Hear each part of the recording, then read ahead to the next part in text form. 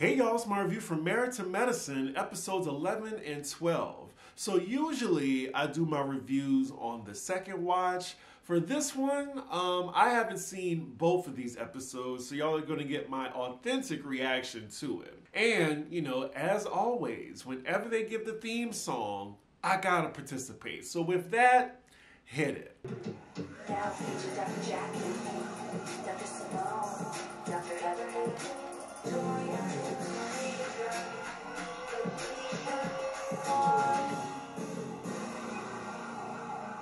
So we open up with our usual montage, and it seems like the main theme for this event will be Phaedra's birthday party for Aiden, her first son, who's turning 13. Remember, like we saw when Phaedra was lying about her pregnancy? Oh man, time be flying. So then the party planner's like, oh yeah, they'll run you 70K. Phaedra's like, okay. Do y'all think Phaedra got 70K just to drop? I don't know. I mean, look, th those Bravo checks keep coming her way.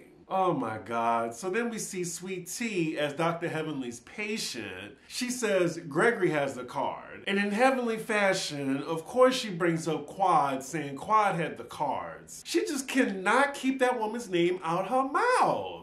So next scene with Eugene and Toya, and Eugene, you know, bless his soul, is again trying to please his thankless wife with a lovely date.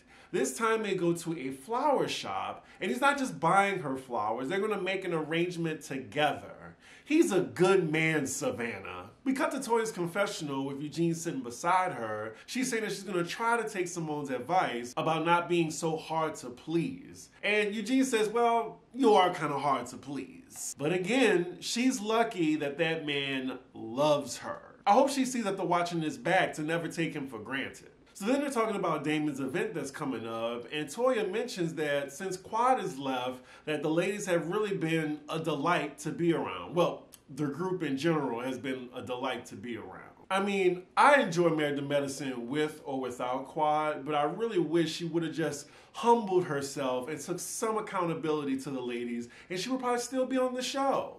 Because all she had to do was apologize. I mean, look what they put up with Heavenly. Heavenly Ass should have been off the show or, or kicked off by the other ladies. So next scene we're at Dr. Damon's mixer and look at Heavenly. Okay, girl.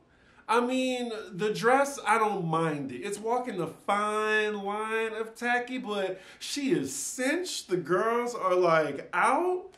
Look at her. Like, it's Heavenly on Ozempic? So the ladies are arriving, and we have another cameo by Dr. Jackie's husband Curtis. He actually came to this event. so when the ladies see uh, Dr. Heavenly in this getup that I just commented on, they said, oh, they cut to Dr. Simone's confessional and she said she can immediately tell that Phaedra dressed her. And you know what? This is something that Phaedra would wear. Like she called it. And then we see a flashback of Phaedra helping out Heavenly. Oh man, they clowning her. They saying her dress too small. I mean, look, I was trying to be nice, but hey, I- will let them roast her. I'll allow it. I will say though, if Dr. Damon Daddy didn't like what she had on, he probably wouldn't have let her wear it. So Phaedra arrives and we see that she is on the prowl. And I'm looking at the selection of men and I ain't mad at it. So the event is moving along, and as Damon is speaking on the mic and Heavenly is next to him, I don't think she realized that a little bit of her nipple is showing, because they definitely have it blurred on here. Now, wait a minute. What is the purpose of this event? Because then Heavenly gets on the mic, asks Phaedra to come on stage, and says, Are there any eligible men in the room for Phaedra? And she has opened the floor, and there are some men that are volunteering. Like, I could see if there was like an auction for a date for charity, but it's not. She's just doing this on the mic. The other ladies are stunned and are calling Heavenly a pimp. Then we have Simone having a discussion with Alicia, just saying how her husband is doing since he never had the kids by himself before when she went to Napa. She said he has a newfound respect for her because obviously it's harder than it looks.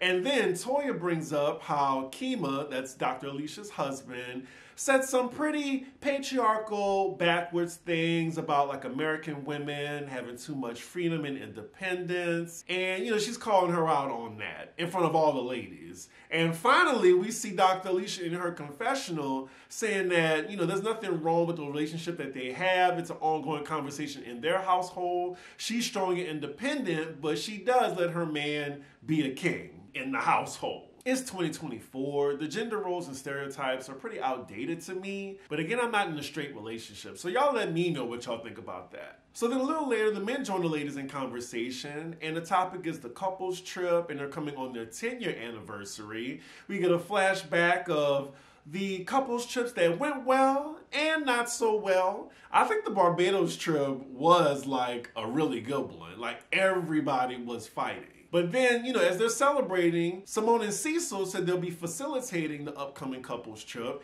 And this time it's going to be in Hilton Head, South Carolina. Now, it's a little bit of a record scratch for Jackie because, look, I forgot about this, but that's where she found her husband Curtis was cheating. Now, I'm kind of surprised someone would overlook that information, being that Jackie has been her bestie for years. Like, was this done on purpose? Because this is like heavenly behavior. I wouldn't expect this out of Simone. So then Heavenly, with her nipple out, immediately interjects and asks Simone, Did you check with Jackie? And Simone, we cut to her confessional, and she said it completely slipped her mind that that's where Curtis got caught cheating. After Heavenly calls out Simone, I think Simone clocked that it's starting to look like she's trying to be messy, and she makes it known to the group that she would never try to be messy in this situation, and she honestly forgot. So then she asked Jackie how she feels about it, and she said, Well, I'd rather go to Myrtle Beach. Toya interjects and said, Oh, well, she'd rather go to the ghetto. Oh my. Okay, so my South Carolina followers, let me know is Myrtle Beach the ghetto? Are you offended by what Toya just said? Helly looks like she's pissed at Simone now and asking her for some like compassion, but Simone says the hotel is already booked.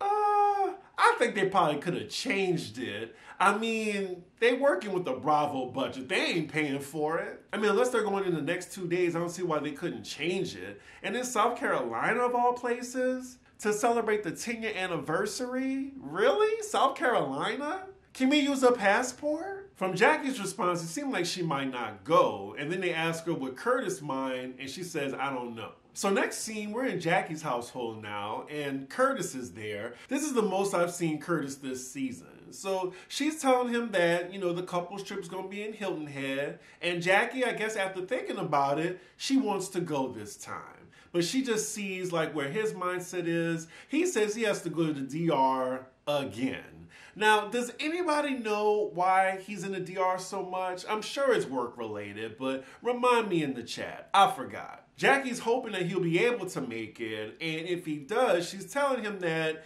you know, some things may be said, so just be prepared for that. But she lets him know that I am not fazed by what anyone else can say. Curtis is being very adamant when he says, like, my business is my business. Jackie reminds him that, you know, our business is our business. And, you know, this trip will not be at the expense of us. We'll see what happens and how that goes, if they go after this conversation, it just seems like a maybe for them if they're gonna go or not. So next scene, we're at Phaedra's son's Aiden's birthday, and Phaedra pulled all the stops. Like $70,000 definitely looked like it went into this party. I mean, seeing how Phaedra's baby shower was, or was it the christening? Kandi called it Bougetto, but I'm just not surprised like how much she went out for Aiden's birthday party. Oh my God, look at Dwight. Talk about waking the dead. He is still with us. Dwight look good. Look at Dwight. And I'm glad they're still friends after all these years. What is Phaedra wearing?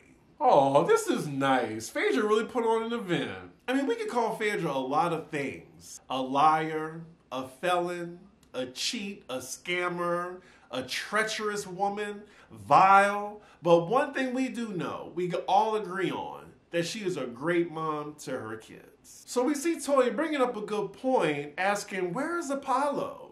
I, I am wondering why isn't he there? So we get a little cameo from Cecil's brother, who is, I will say, um, easy on the eyes, like a, a nice looking cat daddy, and he's not wearing a ring. And Heavenly definitely points it out, and he's sitting next to Phaedra, and I. I can see it. And not Heavenly handing him a hundred dollars to tell him to buy a ring. Wow, he looks about as tall as I am. Oh God. So we see Kima, Dr. Alicia's husband, talking to Greg, and you know, they're bonding off of their their old gender role stereotypes for women, saying that, yeah, I love that our wives take care of us. And, you know, all I gotta do is bring home the bacon, she do what I say. Next. So then later we see Heavenly pressing Simone about why did she choose Hilton Head of all places? And why can't she change it? We got to Simone's confessional and she doesn't appreciate Heavenly trying to paint this picture of her being messy. But this is interrupted because it's time to do the cake cutting. And then we cut to Phaedra them looking back on raising Aiden. And of course, he grew up in front of us. So they have like all the different instances, like his first birthday where Dwight was there, and Dwight is now at his 13th birthday. Oh man, they about to get me. Aiden is talking to his mom. She raised that boy right. Mm-mm-mm. A treacherous woman, too. That is so sweet. I'm getting a little misty eyed. Uh oh, so it looks like Jackie arrives to the party. Heavenly says she wants to talk to Simone again, and they bring Jackie in on this conversation. Heavenly again asks Simone, Do you think that was a good idea? But Simone ignores her and asks Jackie, Are you comfortable becoming the Hilton Head? And Jackie, she just says that Curtis isn't gonna come. Like, we just don't want to open up that can of worms. But Heavenly, she keeps interjecting, and Simone, she's keeping her cool. Y'all know Simone be ready to pop off. Simone then calmly tells Jackie, You better tell your bulldog to shut the fuck up. okay, they're now going back and forth because Heavenly said, You should have known that. Simone's like, I've been friends with her for 20 years. And then Heavenly, she grabs Jackie like she's the better friend. And she's kind of rubbing it in Simone's face. She knows what she's doing. And just looking at this, I can see how Simone is about to really erupt on Heavenly. Because just imagine that you've been friends with somebody for 20 years, and here comes this person that you don't fuck with, that you just tolerate, uh, that's friends with your best friend. But then they're trying to act like they're the best friend. Ooh, that would get me. That would get me so good because I take friendships so seriously. And the one thing that'll piss me off is someone saying that I'm not being a good friend. They're getting really loud now and people are looking at them. I think they need to realize that this is not the time or place for this conversation. Jackie just walks away. So then Simone and Heavenly, they continue this conversation like away from the party near the entrance, but those two get really loud, like at certain decibels. So people will hear them regardless. I want to know though, why is Heavenly more angry than Jackie is? They get into each other's face right now. I think someone needs to intervene because Heavenly has a mouth on her, but I don't think she know how to fight. Simone would beat her ass. So Jackie comes back outside to calm the situation down, and it looks like she's not gonna go if Curtis doesn't go. But then it looks like they're at a maybe. I can't wait to get to the next episode to see if they just decide to go or not, or they're just gonna change the entire trip. Simone then gives Heavenly a warning do not come for me again. I would love to know what y'all think of this back and forth beef. Whose side are y'all on? I think Heavenly is trying to toot her chest up too high and try to speak for Jackie when Jackie can definitely speak for herself, especially to her friend of 20 years. So the argument stops between the two, and Heavenly has the nerve to ask Simone for a hug. If I was Simone, I probably would have told Heaven, you look at it and lay your ass out at a kid's birthday party. So next scene, we see everyone packing for the trip to Hilton Head. It looks like Jackie is going without Curtis, but Simone's gonna give her the master bedroom. So the credits are rolling, and we see Simone telling Cecil how excited she is for the trip. Then we cut to 24 hours later and you know we see all hell break loose. It looked like jackie and curtis aren't going on the trip. And yeah we fade to black. And that is where the episode ends. Let's get to episode 12 because i need to see like are they going to this damn trip or not So the episode opens with all the couples meeting at Simone and Cecil's house. Oh, child, every time I hear this Kima person speaks, like I want a piano to fall on him. He always got something ignorant and chauvinist to say, and I don't think it's cute, like the other ladies do. He always has something misogynist or chauvinist to say, and I'm over him. So then Simone is wondering where the rest of the ladies are. Heavenly, Phaedra, and Jackie. They're still not there. So Simone calls Heavenly first, and she says, I'm not coming. Even if you felt that way, Heavenly, that is extremely rude. She has her on speaker right now, and she's saying that it looks like Curtis not going, so, you know, I don't feel comfortable with this. I'm not going. You choose to tell her the day of the trip when they're about to leave? So then they call Jackie, who also says she's not coming because it looks like Curtis changed his mind at the last minute. Toy is trying to intervene, saying, Jackie, nobody gonna bring nothing up. But Jackie sounds like it's a done deal. Uh, she says she doesn't want to talk. And then she says she has to go, but they look like she's about to cry and she hangs up. So now that's two people that's not going. In the grand scheme of things, though, y'all, like, is it really that big of a deal if it comes up? Is it that taboo of a topic?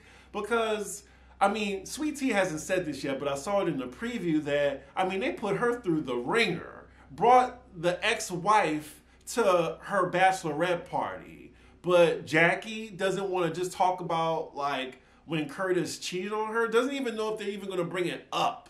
But this is just all this hoopla over that. So it looks like they're all continuing things as planned. They're loading up, and here comes Phaedra strolling up, one hour late. So as they're headed to Hilton Head on the Sprinter, they're all talking about how Heavenly and Jackie choosing not to go. And then Toya brings up a good point, the hypocrisy of Heavenly to stay behind with Jackie when we rewind a few years on the couples trip and it was Heavenly who was judging everybody's marriages, and especially Jackie's when she brought up a messy question. So yeah, I agree. Heavenly's full of shit. So now the couples are just playing games to pass the time by, and, you know, they're messing with Kima because they know he's a male chauvinist and they're asking top three things to put Kima to bed or whatever.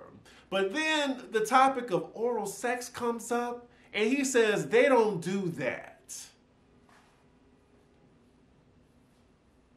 What? He doesn't perform it on her, of course, but she doesn't even do it on him either. They just don't do oral sex, period. That is insane. I, I wonder why. Can and he said it's culturally. So he's Nigerian, right? Can somebody enlighten me? Uh, like, why? Why? Oral sex, I think, well, I'm gonna just speak for myself. It is very important.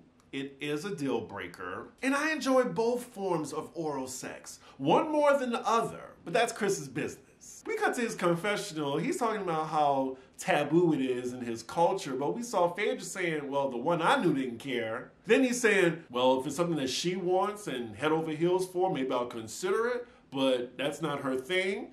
She then says, well, you, you can probably go down there more. Oh man, where, where they find these people? Anywho, they arrive at Hilton Head, and by the looks of it, it looks like something Gen X would enjoy like someone in their 50s and up. So the couples are getting situated, about to have dinner outside, and then here comes a car pulling up, and Jackie and Curtis gets out, and behind them is Heavenly and Damon.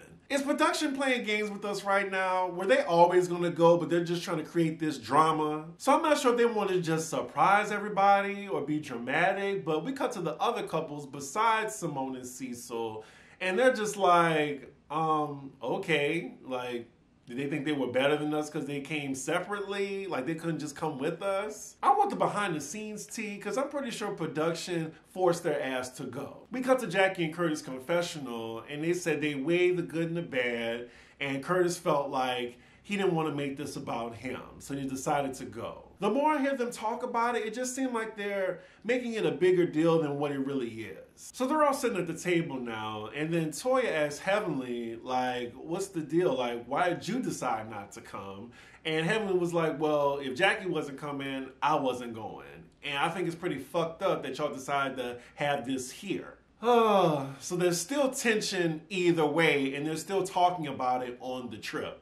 So why did they do all the theatrics? I don't know, y'all. Toys kind of swaying me because if they would have never made a big deal about it, then nobody would have brought it up. And if they did, it probably would have just been like, oh, well, Jackie, how do you feel being that, you know, you're here? You know, and it would have just been done. But then Jackie tries to put a pin in it and says, well, we can just leave it there. But then Sweet Tea speaks up and says, Well, you know, I don't think it was fair that y'all brought up Quad, but y'all still did it. Do y'all think Sweet Tea has a point? Uh, I kind of think she does too. So Jackie tells Sweet Tea condescendingly, Do you need me to feel uncomfortable? Sweet Tea says, No, but I think you should be in the hot seat. And then Jackie says, Well, I'm so well equipped to be in the hot seat. And ooh, wee.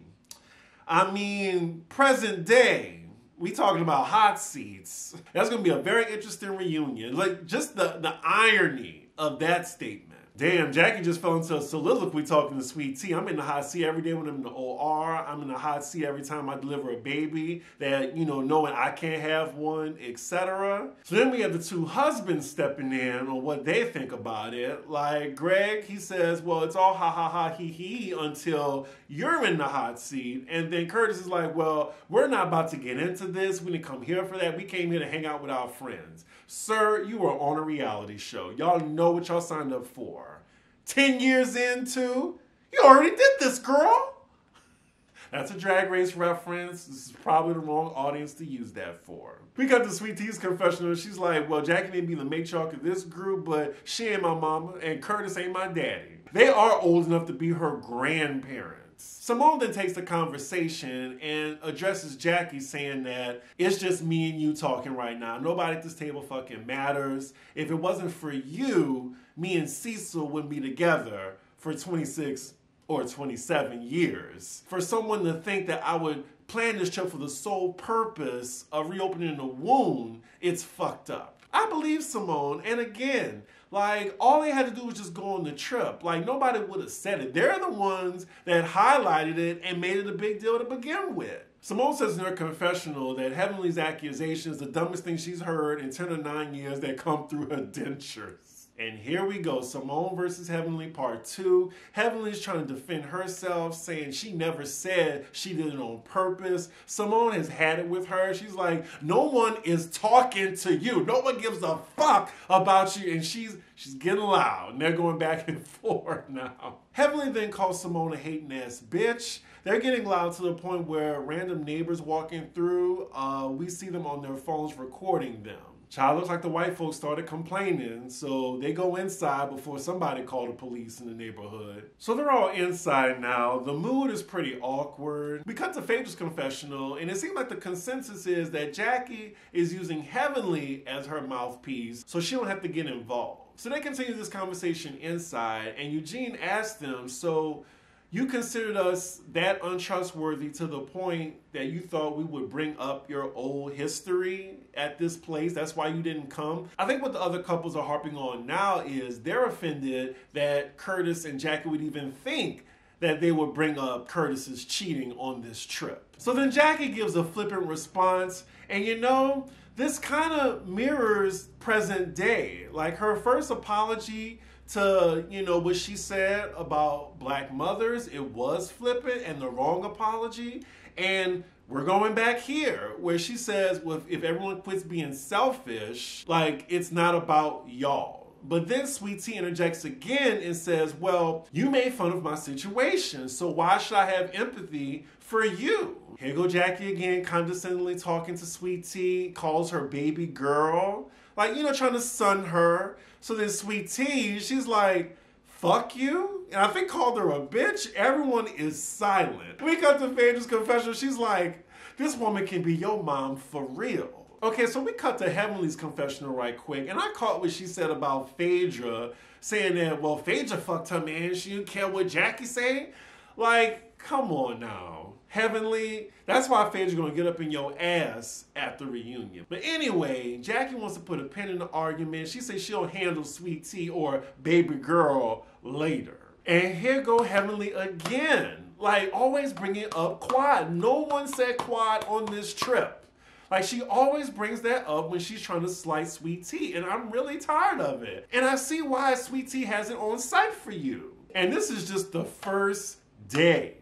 The first day. How is this gonna go? So they end the night without anyone being killed, and Simone is hoping that Sweet Tea will apologize to Jackie for cussing her out as well as calling her a bitch. We then see Sweet Tea talking to Greg, and Greg's trying to figure out like what's going on with her, like why did she blow up on Jackie?